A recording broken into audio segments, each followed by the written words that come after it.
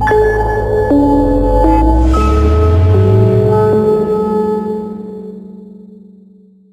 gente, bem-vindos a mais um vídeo do Clube do Design, eu sou Liut Crícia e hoje eu quero falar sobre feedbacks. Eu já queria falar, na verdade, sobre esse assunto já tem um bom tempo, acho que só estava esperando o momento certo e esse momento chegou.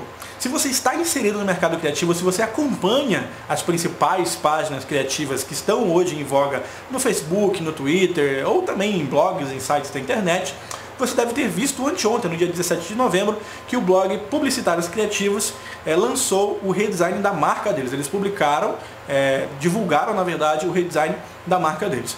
O projeto foi, foi idealizado e construído pelo Pedro Paneto, que é um designer que está em voga também no mercado hoje em dia, ele tem relevância no mercado de design gráfico de criatividade atual. E eu queria utilizar esse caso, tá? Toda a discussão, na verdade, que girou em torno do lançamento desse redesign de marca para falar sobre feedbacks de quanto eles são importantes para você desenvolver um bom trabalho, para você corrigir possíveis falhas, corrigir falhas e sempre desenvolver um trabalho melhor. É uma, é uma verdadeira, na verdade, evolução. Né? Você está constantemente melhorando se você consegue é receber feedbacks e tratá-los da maneira com que eles devem ser tratados.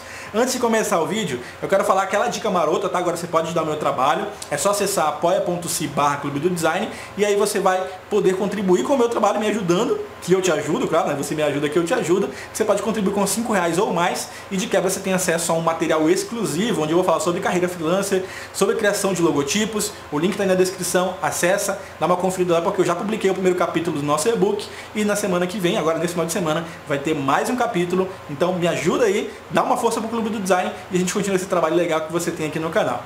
Ah, outra coisa também, eu vou deixar um card aqui no cantinho, tá? Eu quero saber o que você acha desse formato de vídeo aqui. Se acha legal, você curte ter esse momento onde a gente pode falar cara a cara, você pode usar, cara, só eu tô aparecendo, mas você pode usar os comentários, sempre dar sua opinião. Eu quero saber se você gosta desse formato de vídeo ou se você quer continuar só nos tutoriais mesmo, tá bom? Nesse formato aqui, eu sempre costumo falar sobre carreira, sobre é, freelance, sobre outros assuntos que aí ficam em torno do mercado criativo, mas que nem sempre tem a ver com ferramentas ou com tutoriais, beleza? Então vota aí no cantinho o que, que você acha do formato, se a gente pode continuar fazendo, se você gosta, e dá sua opinião aqui também na, na, nos comentários, tá bom? Então para você entender o que aconteceu, no dia 17, o blog Publicitários Criativos, pode ser um site, pode ser um portal, não sei como você prefere chamar, publicou o redesign da sua marca. Eles divulgaram o redesign da marca, um projeto idealizado e construído pelo Pedro Paneto. Eles divulgaram inclusive todo o processo criativo, tudo o que ocorreu nos bastidores da criação dessa marca. Eu vou deixar o link aqui na descrição para você acompanhar o lançamento desse projeto, tá? Não só o redesign da marca, mas também de toda a comunicação visual é, do blog Publicitários Criativos. Ocorre que essa marca, esse redesign, foi recebido não só por bons elogios, claro, mas também por duras críticas. E eu quero falar, na verdade, sobre o que aconteceu justamente nessa discussão, nesses comentários. Eu não vou falar sobre o projeto em si, tá? Você pode acessar aí embaixo o link, fazer a sua avaliação e dar o seu feedback lá à vontade. Então eu vou deixar isso para você. Eu quero falar sobre o que aconteceu nos comentários e para a gente entender o que, que isso tem a ver com o feedback e o que, que o feedback tem a ver com o nosso trabalho, tá? Digamos que você fabrique luvas. Você é um fabricante de luvas, você faz luvas para vender. Você fez uma luva, colocou numa loja para venda, o fulano foi lá, comprou essa luva e usou essa luva. Depois que ele usou a luva, ele teve lá a sua experiência, fez a sua avaliação do produto que ele adquiriu e ele voltou na loja para dar um feedback. O feedback vai ser a opinião desse cliente, desse consumidor sobre o produto, seja um feedback positivo, ou seja, ele gostou do produto, ah, eu gostei do produto, ele deixa minha mão aquecida, e o que é mais legal é que além de deixar minha mão aquecida, ele, ela não fica suada, tá? Isso é o feedback que seria positivo, digamos assim. E a gente tem o feedback negativo, é aquele, ah, eu não gostei da luva porque a costura da ponta do dedo faz calo na minha mão, ou porque a costura da, da, da parte de trás aqui da luva é, acabou causando irritação, isso seria um feedback negativo, tá? Quando a gente fala de feedback, a gente tem que entender que existem sim críticas que são avulsas, são gratuitas, digamos assim, de pessoas que simplesmente não gostaram, ah, não gostei, pronto, não tenho uma opinião formada sobre o assunto. Mas existem também as críticas de pessoas é, que são consumidoras, tenham elas um conhecimento no assunto ou não, tá? Mas que são feedbacks que são construtivos e podem te ajudar a identificar possíveis problemas ou então identificar, claro, o que você fez certo, o que você fez de errado em determinado projeto.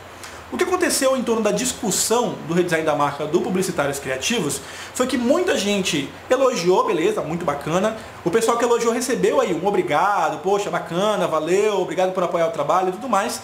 E o pessoal que criticou, o pessoal que deu feedback negativo, não foi recebido com a mesma cordialidade.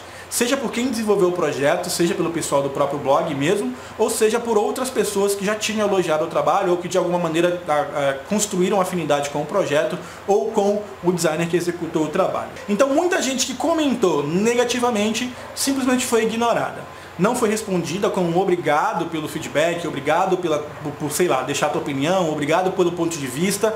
Eu não vi, não consegui enxergar alguém que, que tem recebido esse tipo de comentário no feedback negativo. Os positivos, beleza, todo mundo foi lá, bacana, obrigado, legal, valeu por apoiar o trabalho e tudo mais.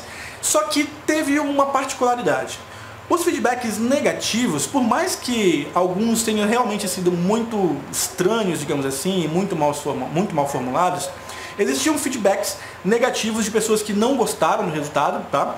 E que mesmo assim foram recebidas com uma certa rigidez, com uma certa hostilidade por outras pessoas que estavam participando é, da, da discussão. O que aconteceu é que muita gente que se declarava designer gráfico, que se declarava profissional criativo, que atuava na área, estava usando como justificativa aquela situação onde, olha, você não é designer gráfico, você não trabalha na área, então você não pode avaliar o trabalho. O trabalho não foi feito para você avaliar. E eu achei isso muito curioso, porque como você acabou de ver no exemplo da luva que você fabricou e que você vendeu para um cliente, o cliente que não sabe como fabricar uma luva é justamente quem deve dar o feedback. É justamente quem está apto a avaliar o produto de acordo com as suas experiências e com a sua percepção sobre esse produto. E é ele quem vai te dizer: olha, eu gostei, olha, eu não gostei, olha, para mim não cabe, ficou muito pequena, muito apertada, muito larga, eu achei feia essa cor de marrom, me lembra, sei lá, cocô, ou eu gostei da cor vermelha, me lembra sangue, paixão, bacana. Então é justamente essa pessoa que deve dar o feedback. E muita gente na discussão estava justamente fazendo essa espécie de carteirada invertida. Ah, eu sou designer gráfico, eu achei bacana. Você não é designer gráfico, azar o seu. Você não tem por que opinar porque o projeto não foi feito para você. Bom, eu, claro, não preciso dizer que esse tipo de pensamento é muito arrogante, digamos assim, ele é muito prejudicial para quem está dando feedback, tá? Para quem poderia ser um potencial cliente ou um potencial leitor do blog, alguém que acompanha o trabalho. Muita gente comentou, disse, olha, eu já acompanho o blog já tem bastante tempo, eu gostava mais do logo antigo, não gostei do novo. Essas pessoas também foram não só ignoradas por causa do feedback negativo, elas não receberam opa, valeu, muito obrigado, muito obrigado pelo seu ponto de vista, valeu por comentar, eu vou considerar a sua opinião nos meus próximos projetos, alguma coisa desse tipo, foram sumariamente ignorados ou receberam a carteirada inversa, né? Você pode acompanhar nos links que eu vou deixar aqui embaixo. E o que a gente tem a aprender com tudo isso? Quando a gente se insere no mercado de trabalho, quando a gente está disposto a oferecer um produto, um serviço, ou mesmo quando a gente simplesmente participa da sociedade de um modo geral, nós estamos é, propensos a receber feedbacks positivos e também feedbacks negativos.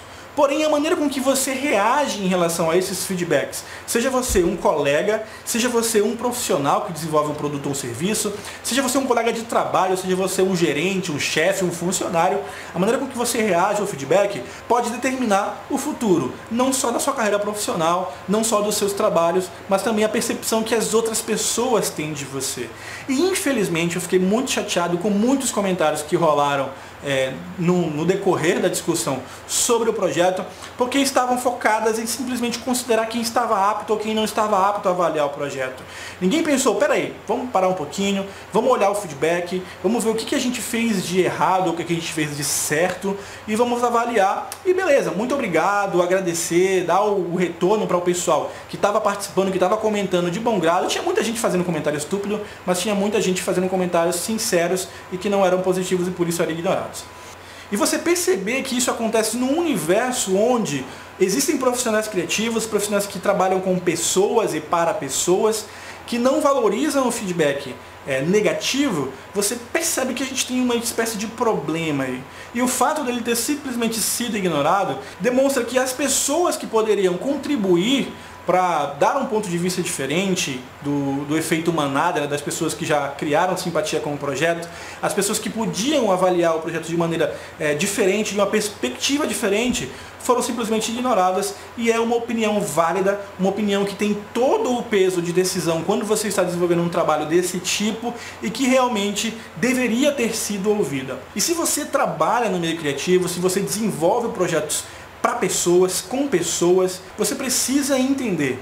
O feedback, ele é uma peça fundamental para que você desenvolva trabalhos cada vez mais legais, cada vez mais eficientes, cada vez com menos erros e cada vez mais propensos ao sucesso. Então, se você é um profissional criativo, seja você alguém que esteja desenvolvendo um trabalho, ou seja você alguém que está criticando um trabalho, você precisa dar valor ao feedback que você dá e ao feedback que você recebe. Sempre que você for dar um feedback para alguém, é muito importante que você pare, pense um pouco. Imagine, esse é o momento certo para eu comentar, esse é o momento certo para eu dar o feedback. Por que, que eu quero dar esse, esse feedback? Eu vou acrescentar alguma coisa, eu vou falar sobre uma característica que eu gostei, uma característica que eu não gostei, eu vou falar sobre a minha experiência com esse produto, sobre a minha percepção com esse produto, ou eu vou simplesmente comentar porque eu não gosto do cara que fez. Então, se você fizer essa avaliação básica antes de fazer qualquer comentário em um projeto, seja para elogiar ou seja para dar um feedback negativo, você com certeza vai desenvolver uma opinião muito mais legal, muito mais embasada e que tem muito mais chance de ser ouvida. Se você está recebendo um feedback, seja ele construtivo, é, positivo, ou seja ele construtivo, negativo, você precisa reconhecer esse feedback como uma ferramenta importante para o seu trabalho. Então não ignore o feedback positivo, agradeça, muito obrigado por ter participado, muito obrigado, obrigado por acompanhar o trabalho e também interaja com quem dá o feedback negativo, porque muitas vezes são essas pessoas que estão tendo dificuldades em utilizar o seu produto, que estão tendo dificuldades em entender o que realmente aquela marca significa, que estão tendo dificuldades em se adaptar a uma novidade. Então são essas pessoas que precisam muito mais da sua atenção para que você possa agradecê-las. Olha, muito obrigado pelo feedback. Eu gostaria de saber mais. Na verdade, isso acontece muito também, né? A pessoa comenta, ela não tem expertise para entender o que está acontecendo ali. Ela olha para um projeto, ou ela experimenta um produto, ela não gosta, mas ela simplesmente fala assim, não gostei. E sei lá, por por medo de, justamente de ser ignorada ou de ser é, hostilizada por outras pessoas que tenham gostado, ela simplesmente não dá a opinião dela. Esse tipo de pessoa precisa ser instigado, precisa ser é, estimulado a aumentar o seu nível de, de opinião, aumentar na verdade a sua, o seu feedback. E você pode fazer isso simplesmente perguntando: Poxa, muito obrigado pelo feedback, mas por que, que você não gostou? O que, que você acha que pode ser melhorado? Como você acha que meu produto pode ficar melhor de acordo com a sua experiência, com a sua expectativa para ele? Isso é saber tratar bem o feedback negativo e tentar tirar proveito dele. Infelizmente, muitas pessoas que se diziam profissionais que estavam acompanhando é, a conversa, que estavam dialogando, que estavam tentando ali expressar a sua opinião, não atentaram para esse detalhe, preferiram ignorar que podem existir feedbacks positivos, assim como podem existir feedbacks negativos construtivos e que todos eles devem ser tratados igualmente e que todos eles iam ajudar a construir um projeto com uma percepção pelo menos mais positiva. Se você responde uma pessoa que deu um feedback negativo e se você procura entender o porquê que esse feedback foi negativo, essa pessoa ela está propensa a aceitar que o seu trabalho é, pode não ter sido feito para ela ou pode ser melhorado no futuro. Bom, e era isso que eu tinha para falar sobre esse assunto. Eu quero falar ainda um pouco mais sobre feedbacks, mas o vídeo vai ficar longo demais. Eu quero separar, na verdade, eu vou falar depois sobre o feedback no trabalho, digamos assim, quando você está desenvolvendo o trabalho com o cliente. É uma coisa muito legal que acontece muito. Você, quando está desenvolvendo uma marca, está desenvolvendo um produto, você envia, sei lá, amostras, rascunhos para o cliente que não gosta e aí você precisa trabalhar esse feedback de não gostei ou de não aprovei para que você consiga desenvolver um trabalho mais legal focado no seu cliente. Tá? Eu vou falar sobre isso em outro vídeo, mas por enquanto era isso que eu queria falar. E eu quero saber o que, que você achou de tudo isso. Eu não quero que você avalie o trabalho, tá bom? Eu quero que você avalie essa situação.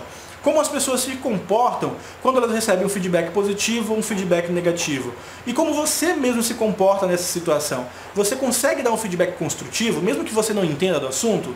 Você consegue dar um feedback negativo, mas é, novamente construtivo, de maneira que você consiga somar com o trabalho, eu quero saber a sua opinião. Então use os comentários aqui embaixo e vamos conversando. Se você curtiu esse vídeo, não esquece de clicar aqui embaixo em gostei, compartilhe também com seus amigos para que mais gente conheça o meu trabalho e não esquece de votar aqui na enquete também para você dar, dar sua opinião sobre o que, que você achou desse formato de vídeo, se a gente pode continuar não só falando sobre esses assuntos, né, que é até um pouquinho tenso falar sobre o trabalho de outra pessoa, ou falar sobre pessoas, mas às vezes a gente precisa falar. Então me diz aí o que você achou para a gente trazer outros assuntos mais legais e mais, mais bacanas aqui para o Clube do Design. A gente se vê no próximo vídeo. Um forte abraço. Tchau, tchau.